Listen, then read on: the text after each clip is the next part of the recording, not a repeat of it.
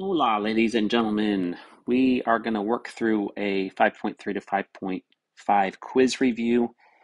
There are a bunch of questions on this review. Your quiz won't be this long. I just wanted to give you plenty of practice questions. Uh, you'll have you also have the answer key along with it. So I'm going to pick a few questions to help us um, prepare for our quiz, and you can do the other ones on your own, and you have the answers there with you. The first four questions are all very similar. It says solve each equation by factoring, but in fact, one through four are already factored. So these are already factored. So please do not multiply them out and then factor them again. I've had I've had students do that. So these are already factored. So you don't have to do a whole lot for these.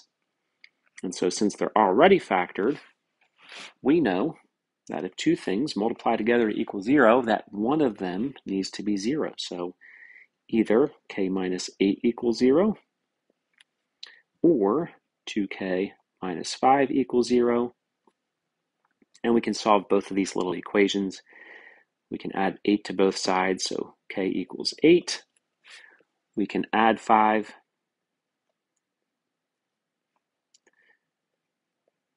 and then divide by 2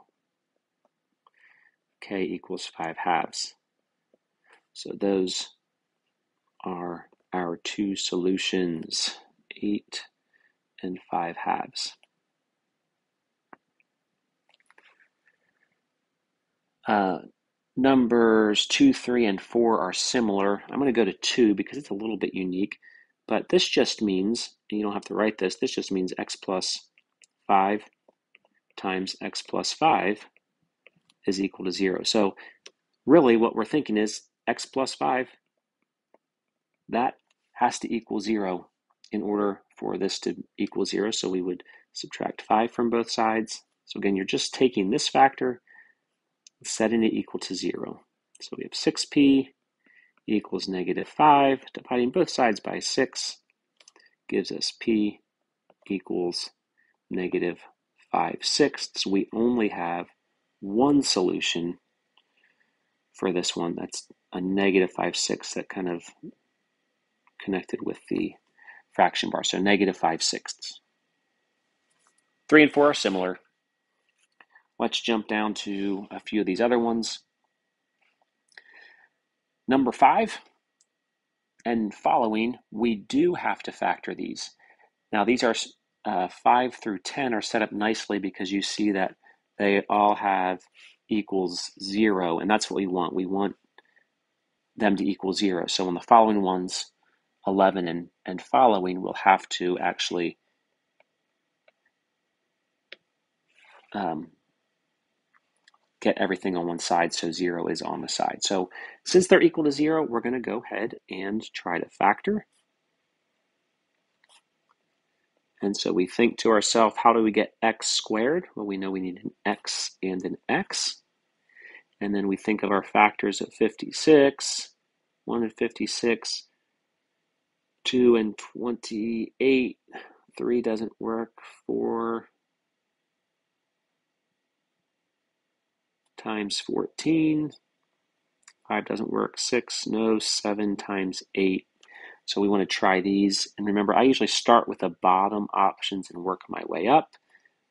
I have a positive here, which means I mean, need the same sign, and that sign is a positive, looking at the other one. So we have a positive times a positive, and I'm going to try 7 and 8.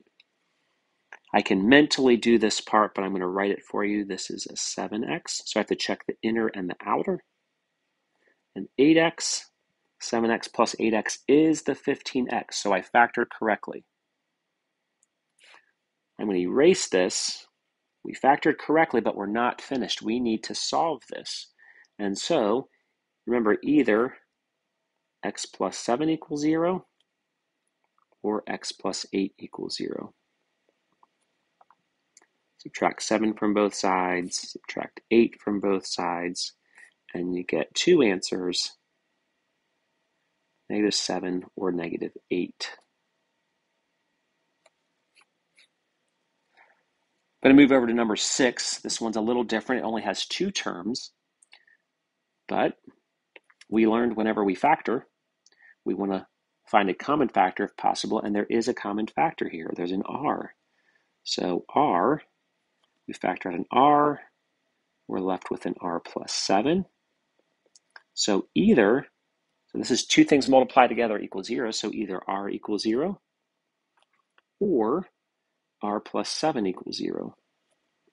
Well, this one is one of our answers. Subtract 7 from both sides on the other one, and we get r equals 0 or negative 7.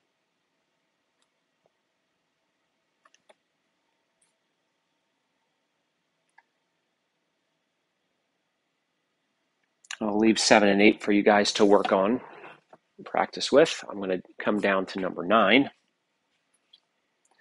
Number 9, it's set equal to 0, so that's good.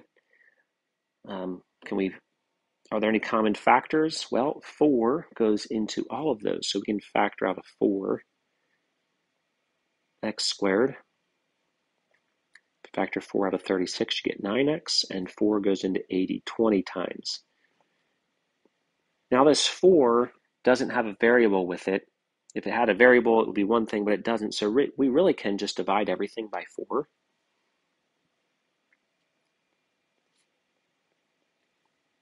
And now we just have x squared plus 9x plus 20 equals 0. And now we try to factor, which I think it will work out pretty nicely. We have x times x would give us our x squared. 20, options for 20, 1 and 20, 2 and 10, 4 and 5. Again, I usually try to start with the lower ones, and if they don't work, I work my way up two positives. We have 4 and 5. So either x plus 4 equals 0 or x plus 5 equals 0. Running out of room here. So x equals either from here, subtract 4, so x equals negative 4. And from here, we would subtract 5 from both sides. And those are the two solutions. Number 10 is similar to that, so I'm going to leave that one for you guys. Number 11, well, as mentioned before, we need to have a zero on one side. So this one, don't try to start factoring yet. You have to subtract 3 from both sides first. So we get x squared plus x minus 30 equals 0. Now that we have that set equal to zero, we can try factoring. There's no common factors, so we just go straight to factoring. We have a negative here. How do we get a negative, as in a negative 30? Well, first, how do we get an x squared? I should start with that. We need an x and an x. To get a negative 30, we need a positive and a negative. And then our factors of 30 are here. And we just start trying. So 5 and 6. Let's check it. 5x and negative 6x. That adds up to equal negative 1x. We don't want a negative 1x. We actually want a positive 1x. And so we learned if that happens, we go ahead and switch our signs. So this should be minus 5 and plus 6. And now we can solve. So either x minus 5 equals 0. If we add 5 to both sides, we get 5. Or x plus 6 equals 0. Subtract 6 from both sides, and we get x equals negative 6. So our solutions are 5 and negative 6.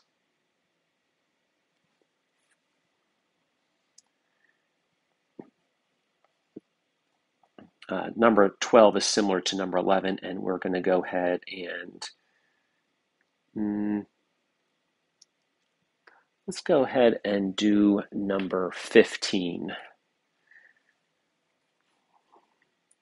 To number 15, we want 0 on one side, so we'll go ahead and subtract 35 from both sides. And at the same time, we can add 4p to both sides because that will give us a 0 on the right side. When we do this, on the left, we want to put this in descending order. So we have 6p squared. We can combine these like terms. That's negative 11p. And then we still have that negative 35 equals 0. And now we need to factor this. Well, we have to get a 6p squared. Well, we have a couple options for that. We have uh, 6p and 1p or 2p and 3p. I'm going to try 2 and 3. We'll see what happens. If no options work with this, we'll have to try the 1 and 6. So we have a negative 35, which means we need one positive and one negative. Maybe they'll have to be switched later, maybe not. 35. Options are 1 and 35 and 5 and 7. Let's plug 5 and 7 in there. Check the inner. That's 15p. Check the outer. That's negative 14p. Do they add up to equal?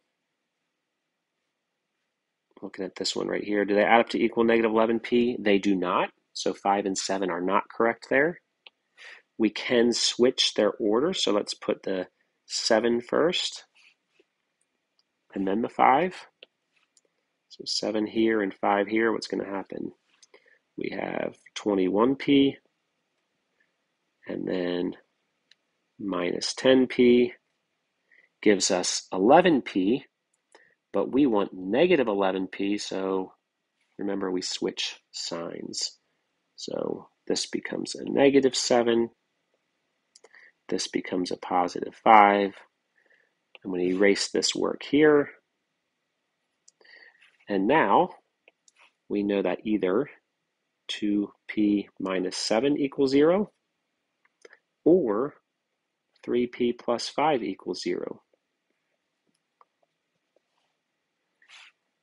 For this one, we can add 7 to both sides. Sorry about how squished together this is. Add 7 to both sides, we get 2p equals 7, and then divide both sides by 2. So from this one, p equals 7 halves. And then we'll try to divide this here. Subtract 5 from both sides. We have 3p equals negative 5, and then we divide both sides by 3 for our other solution, which is p equals negative 5 thirds. And so for this one, took some work, but we got it. That was 7 halves, well, p equals 7 halves, negative 5 thirds.